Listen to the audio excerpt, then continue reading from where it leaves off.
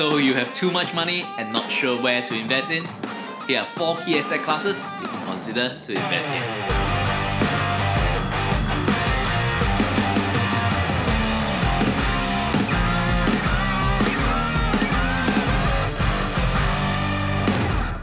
Hi guys, Stanley here.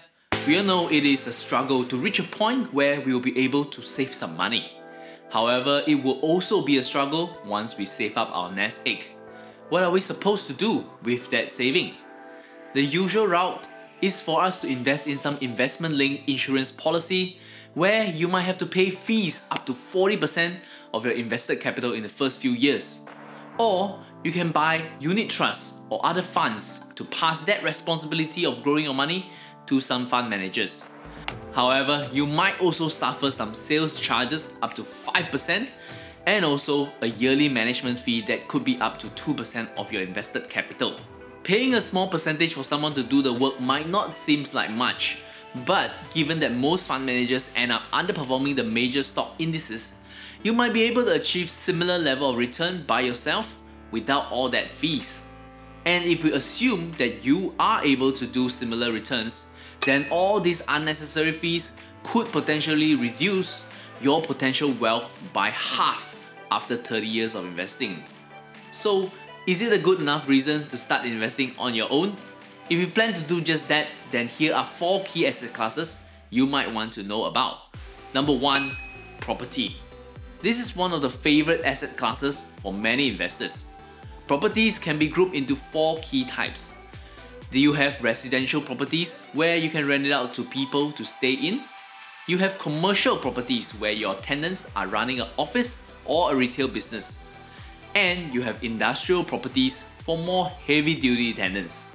And lastly, you can also invest in agricultural properties, including farms, lands, and plantation.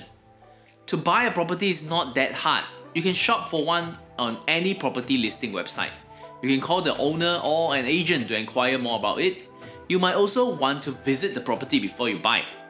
Then, once you decided, you'll pay a deposit and have an agent or a lawyer prepare up the sales and purchase agreement with the owner. At the same time, you will also find a bank to source for a mortgage to finance that deal. Once you have your financing ready and after some document signing, you will just need to pay up the rest of the amount and you will be a new property owner. Some of the advantages of investing in property is that it allows you to leverage up your return. As we are able to get a mortgage for most property purchase, you can increase your potential return.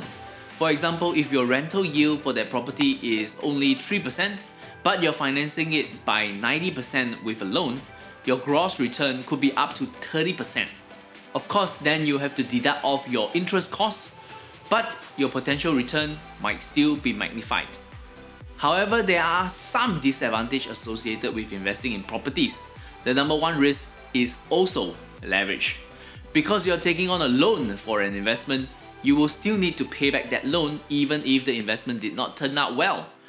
On top of that, there are many costs linked to investing in a property. Besides the usual agency fee when you buy or rent out your property, you have the yearly municipal fees, your interest costs, property maintenance fee, and you might also need some cash buffer to prepare for any repairs that you need to do on the property. Personally, I was never a fan of property because of this issue. So, moving on to the next asset class, bonds. When you invest in a bond, you are basically lending money to the other party. It could be a company or even the government. And they agree to pay you back with interest over an agreed amount of time. However, it is a misconception that bonds are always a safer asset class than others. If you buy a bond from a strong company or a government, sure, it can be considered as a low risk investment. But there are many bonds issued by subpar companies and the chances of these bonds defaulting can be very high. And when a bond default, you could be stuck with a worthless investment. So bonds typically have a limited upside, but still have a maximum downside. However, the advantages of bonds is that it could provide some cash flow for investors due to its regular payment. You can buy bonds through the bank or a stockbroker, or for some government bonds, you can even buy it directly from the government, either online or through an ATM. The next asset class is cryptocurrency. This is a relatively new asset class starting from the creation of Bitcoin back in 2009. However, with the explosive growth from Bitcoin and many millionaires later, cryptocurrency are now gaining mainstream acceptance. Today, you can easily buy cryptocurrency from crypto exchanges like Binance, Coinbase, or Luno. Even traditional banks like DBS Group has also started their DBS Digital Exchange recently with investment from the Singapore Exchange. There are many cryptocurrencies available. Some of the more popular ones include Bitcoin, Ethereum, Litecoin, Cardano, Polkadot, Bitcoin Cash, Tether, Binance Coin, and many others. However, cryptocurrency is still a very speculative asset class and the prices are just based on supply and demand.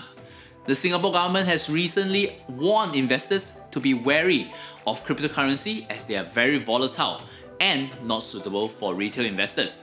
So basically, buy at your own risk.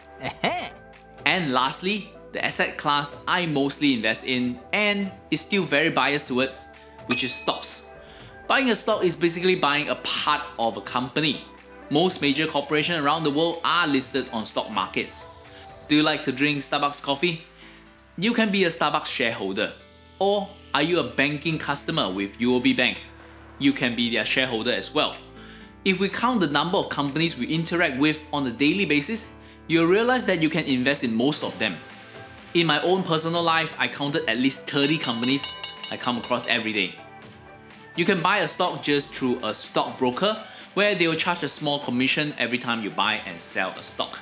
There are a few advantages with investing with stocks for one, it is easy to buy and sell a stock. You can start with just a small amount, like $1,000, and you can sell it off anytime you need the cash. Information about stocks is also transparent. Companies need to announce their performance and news about the business on a regular basis. So you'll be able to keep track of what is happening to your company. However, there are some disadvantages with stocks. Like cryptocurrencies, stock can be volatile as their prices are moving every day and you could lose your invested capital if you invest in the wrong companies. So all in all, there is no perfect asset classes where you can find great stable return with no downside risk. Every investment involves some risk, and the key for us is to understand this risk before we start investing. However, if you spend the time to learn how to invest by yourself, you could potentially increase your future wealth significantly by not paying unnecessary fees and charges to fund managers or the insurance companies. If you want to learn more about investing, remember to check out our free investing course at valueinvestasia.com slash free course. And if you have gotten value out of this video, I hope you give us a like. And remember to share and subscribe so you don't miss out on any of our videos. As always, my name is Stanley. Till we meet again, invest safely.